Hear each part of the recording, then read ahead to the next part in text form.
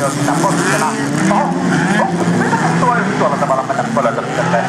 Ja taisi olla sitten Helenius, äärsöläiskuljettaja, siinä sitten oli enemmän ja vähemmän probleemoista ongelmista. Vähän niinku heitteli sinne ja tänne. Näinkin voi sattua. Ylikärjestä Pulkkinen numerolla seitsemän. Ja perässä on sitten Mika Vankolahti, kuopiolaiskuljettaja JME Racing Fiatilla.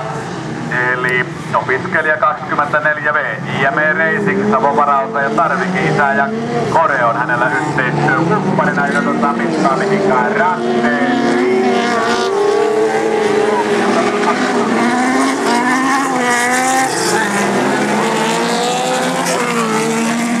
ja, ja sitten siinä käy.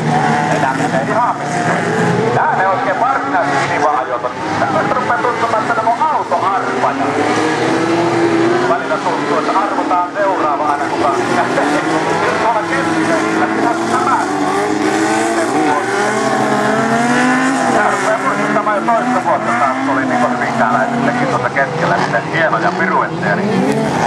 No, näin se on. Tietysti tuo liukkaan on selvä, mikä tekee. Pulkkinen jatkaa, Savi yhdessä Pantolahti jatkaa, 98 numero Helenius jatkaa, sitten lähdössä jatkaa